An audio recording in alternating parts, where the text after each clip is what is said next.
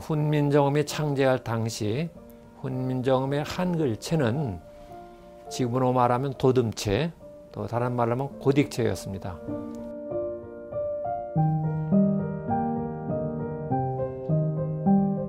(1450년경에) 이세술이 발명이 되고 그때 처음으로 사용된 글꼴이 이제 텍스투어 이 텍스투어에서 어, 발전된 형태가 이제 슈바바흐 아, 슈바바흐는 대표적으로 종교개혁 때 많이 사용된 루터의 작품을 찍는데 가장 많이 사용된 글꼴입니다.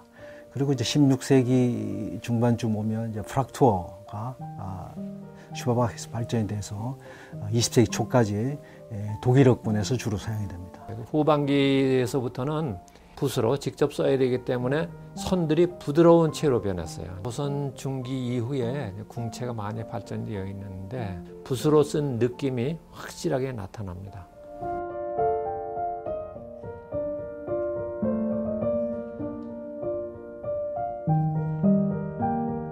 그와 달리 이제 이탈리아 쪽에서는 이런 그 꺾인 글꼴에 반하여 이제 둥근 글꼴, 꺾이지 않는 글꼴이 발달하게 됩니다. 안티쿠아가 어, 여러분들 흔히 말하는 이제 로마체, 아, 로마체, 로마 글꼴인 거죠. 그래서 지금도 현재 많이 사용되는 대표적인 글꼴이라고 볼 수 있습니다.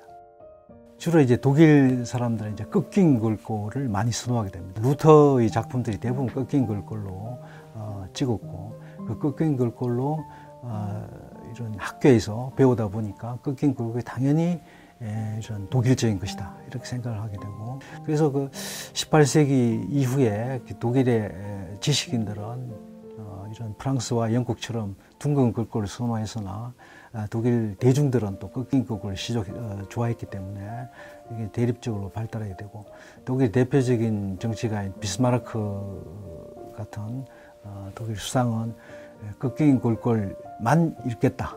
그래서 뭐 둥근 글꼴로 된 보고서는 뭐 내가 글씨를 어, 이런 글꼴을 모른다 하면서 거부했을 정도로 일화가 있습니다.